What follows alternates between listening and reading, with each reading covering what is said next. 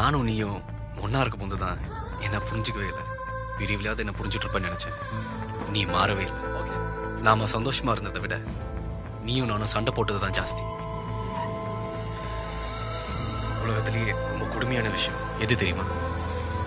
நமக்கு பிடிச்சவங்க நம்மளை விட்டு போறது தான் அதுவும் லவ் பண்ணவ நீ வேணாம் என்னை மறந்துடுன்னு சொல்லிட்டு போறத பார்த்துட்டு நிக்கிறான் பாரு.